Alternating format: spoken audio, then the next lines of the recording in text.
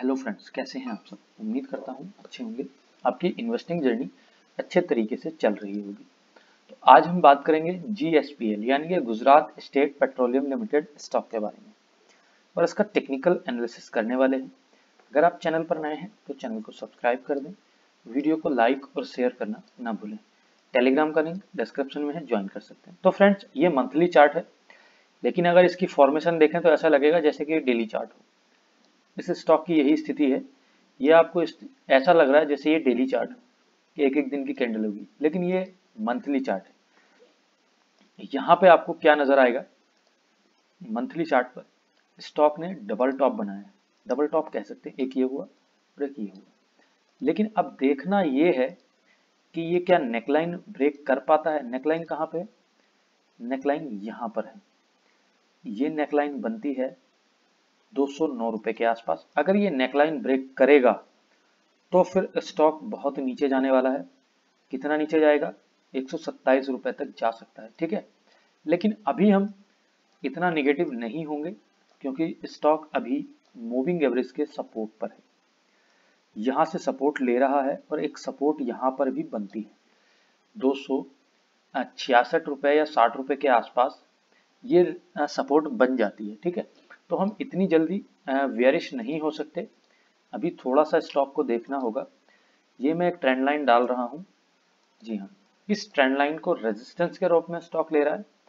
यदि स्टॉक यहाँ से आपको नीचे जाता हुआ नज़र आएगा तो आपका ये एम पैटर्न सा बनता हुआ इसका नेकलाइन ब्रेक हो जाएगी तो फिर नीचे जाने वाला है। लेकिन यदि स्टॉक यहाँ से यहाँ से इस तरह और इस तरह, और ये इस तरह जाएगा तो फिर डब्ल्यू पैटर्न बन जाएगा। यानी कि डबल बॉटम बनेगा और यहाँ पे डबल टॉप बन सकता है। यानी कि दोनों स्थिति इस स्टॉक में क्रिएट हो सकती है।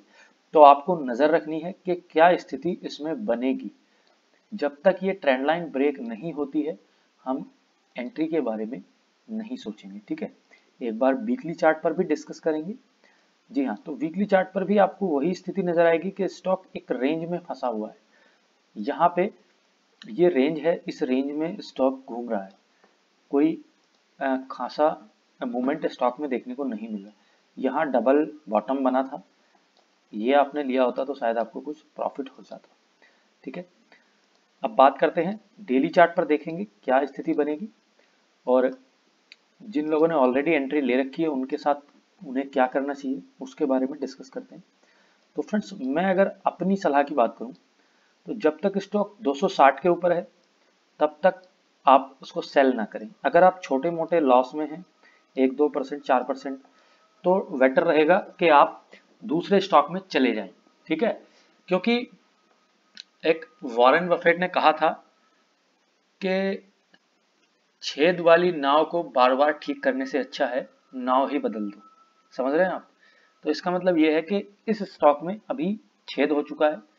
अभी हम इसमें एवरेज भी करेंगे कुछ रिटर्न नहीं मिलेंगे। हो सकता है आप पता नहीं कब तक इसमें फंसे रहें। एक ये चैन है अगर मैं यहाँ से टाइम देखूँ इसका तो ये हो सकता है कहीं 2000 अगले साल जाकर के ब्रेकआउट दे। संभावना है कि अगले साल ब्रेकआउट दे। मैं ये नहीं कह सकता कि कल नहीं दे सकता दस दिन बाद नहीं दे सकता लेकिन जो अनुमान है उसके हिसाब से हो सकता है स्टॉक अगले आ, एक साल के लिए इसी रेंज में घूमता रहे। जो रेंज है दो सौ इकसठ से लेकर के दो फिर 260 फिर 280 फिर 260 फिर 273 फिर 260 इस तरह से हो सकता है स्टॉक घूमता रहे। तो मैं सलाह करूँगा कि स्टॉक में अगर छोटा लॉस है तो आप इसे अवॉइड कर दें और स्टॉक किसी और स्टॉक को पकड़ लें, यानी कि किसी और नाव में चले जाएँ। इसमें जो बुलिस संभावना बनेगी, यानी कि स्टॉक के ऊपर जाने की। वो अगर यहीं पे आसपास में ब्रेकआउट करेगा तो 300 310 के ऊपर इसमें एक खरीदारी का मौका बन पाएगा, नहीं तो स्टॉक अवॉइड करने की सलाह रहेगी, ठीक है?